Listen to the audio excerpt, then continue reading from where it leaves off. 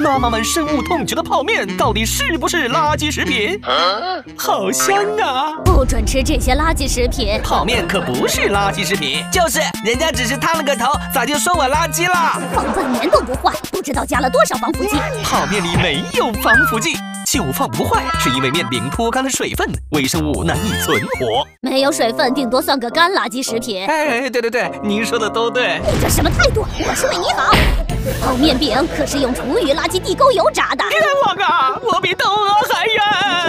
泡面用油是世界三大食用油之一，棕榈油，挺健康的。老妈，你尝一口。嘿！油炸的热量高，而且开水一泡，河里的塑料都融化在面里了，一碗湿垃圾而已。泡面碗内壁是食品级聚乙烯，最低可以承受一百一十二摄氏度高温，泡面水最高才一百摄氏度，化不了。这水温刚刚好，舒坦。我唯一的缺点，营养单一，但不是垃圾。死哥，这下可以吃了吧？